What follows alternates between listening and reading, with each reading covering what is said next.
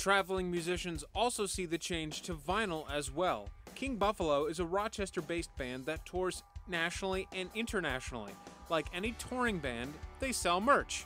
They typically have We got vinyl, T-shirts. Um, we used to have hoodies, uh, CDs, dugouts, pins, patches, stickers. Um, I think that's everything. Basically, whatever we can slap our name on. and their sales reflect the current trend towards vinyl. CD sales, Um, I mean, they've gone way down. Uh, has made a massive comeback. despite the challenges, I mean, we just make sure we have space because obviously vinyl takes up a lot more space than a CD does, but it makes more money, so it's worth it. And we love to have vinyl, and we collect vinyl ourselves. vinyl is worth it. And for this band, it's the perfect fit. Mm, ever since like starting to play music, like the bucket list has been like, I gotta have my name on a vinyl. Well, we all grew up listening to records, you know, whether it was like raiding our parents' mm-hmm. vinyl stash and everything, you know, and all the bands that we idolized growing up were bands that had extensive vinyl catalogs. And in our genre of music, people want us to have vinyl, so we do.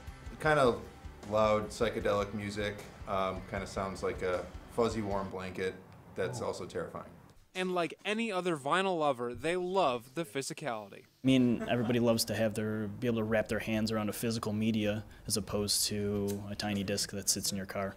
Right. Or you know the, the artwork's a lot more you know impressive looking than on a little little box and uh, just something about actually like placing it on the turntable dropping the needle and you know it's, like i said it's just a lot more of a tactile experience it feels a little more uh, participatory than putting in your cd uh, and hitting play Sales have gone up. It's a tangible thing that somebody can. It's a collector's item.